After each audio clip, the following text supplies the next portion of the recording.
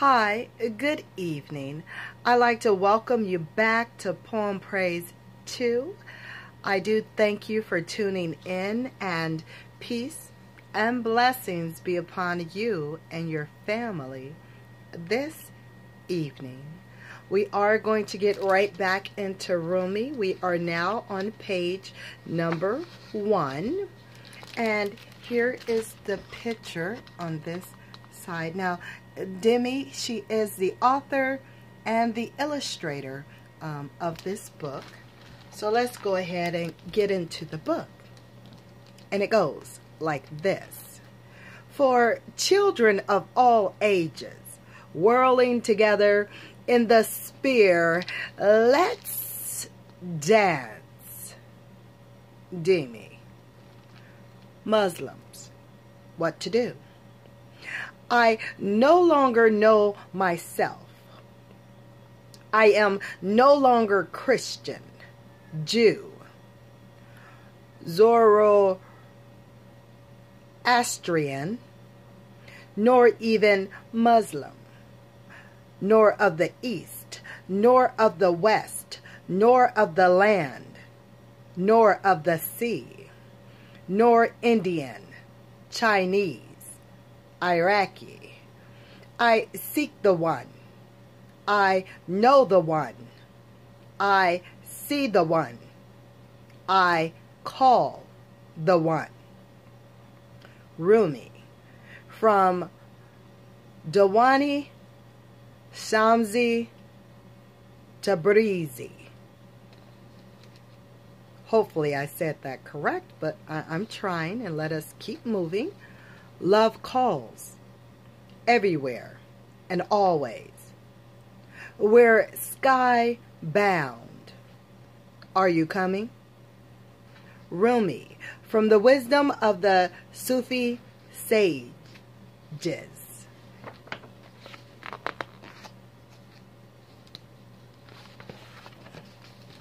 And this is the next picture. This is a map. Let's see the map. A note about Rumi.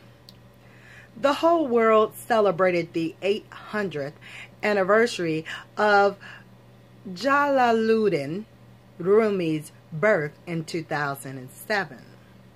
The year of Rumi, as declared by the United Nations considered by many to be the greatest mystical poet who ever lived.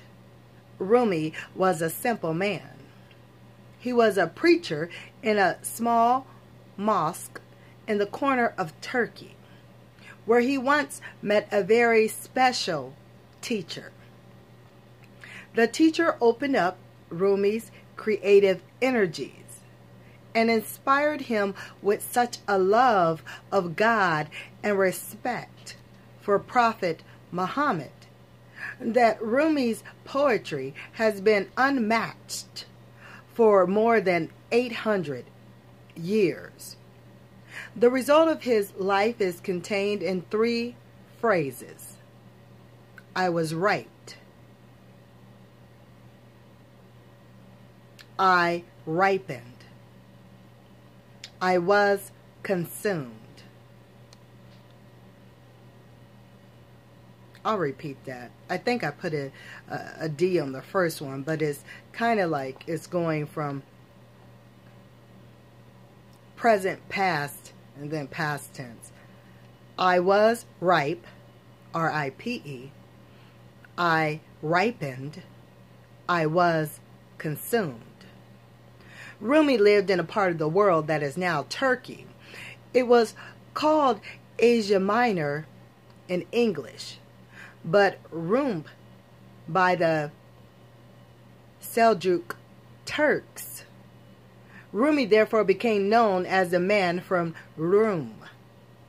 Rumi's poetry speaks to the hearts of people in many lands and people of different faiths because he saw the love of God in everyone and everything. He wrote, The practice of lovers is separate from all religions because the religion and nation of lovers is God. Rumi believed that love is the root of all religions. God is the friend and beloved of all humankind. Dr. Laleh Bakhtiar, PhD, translator of the Sublime Quran, and author of Sufi Expressions of the Mystic Quest. There's that page and that page. A long time ago, on September 30th, 1207, a boy was born in the city of Balkh, B-A-L-K-H, in Afghanistan. His parents named him Jalaluddin, splendor of faith, splendor of the faith. His first teacher was his father. He taught Jalaluddin the Quran, the sacred book of Islam, and also the life of Prophet Muhammad, whom the Quran calls the mercy to humanity. In addition, his father taught him Islamic law, science, and math.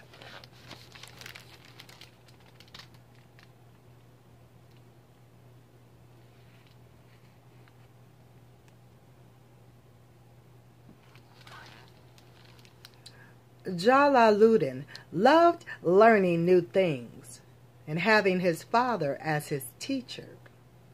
Then one day, when the boy was 12, news came that a terrible warrior, Genghis Khan, and his Mongol army were conquering their homeland. Jalaluddin's father gathered his family and friends into a huge caravan and escaped from Afghanistan. They traveled through Iran, Egypt, Syria, Arabia, and finally settled in Turkey.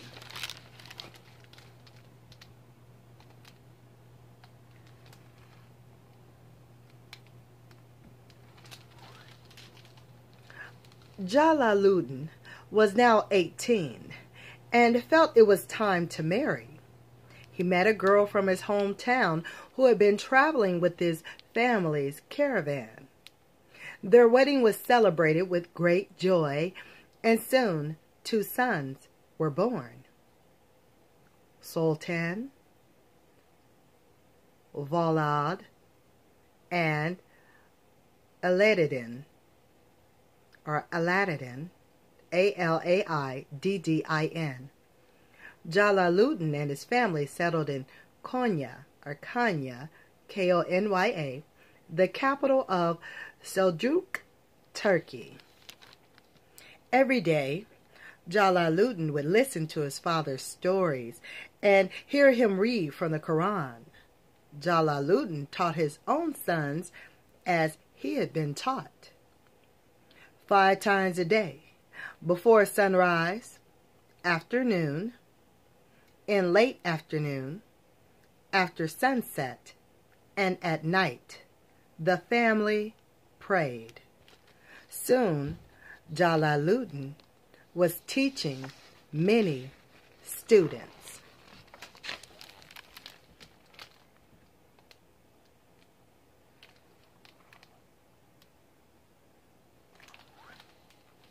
One day, a spiritual man named Sayyid Burhan came to visit Jalaluddin.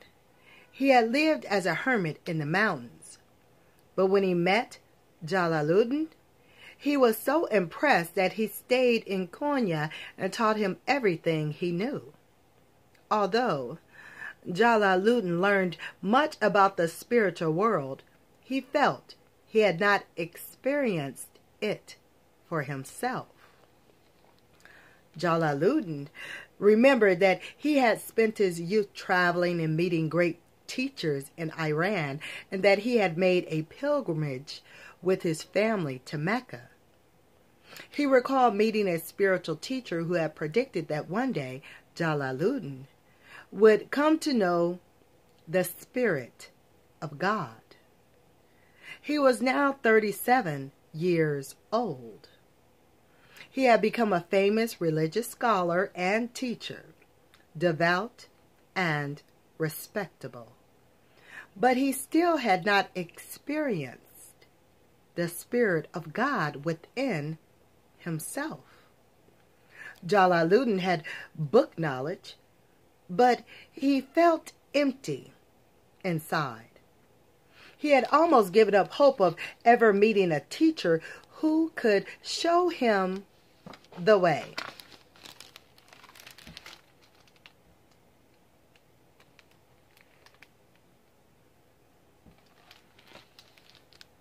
Then on November 29th, 1244, he met Shamsuddin, sun of the faith, who was from the city of Tabriz in northwestern Iran. Shams, a learned man with great intuition and wisdom, had traveled through many lands looking for a student who would be inspired by his teachings. Shams taught Jaludin for three years. He was the best teacher anyone could ever have wished for. He said to listen for the sound of heaven, emptying the mind of all thoughts, to hear the sacred sound of God, as Jaludin said later. It was time before dawn. In the sky rose a shining moon. It drew my soul from its human frame into the sphere of spirits. Then Shams disappeared.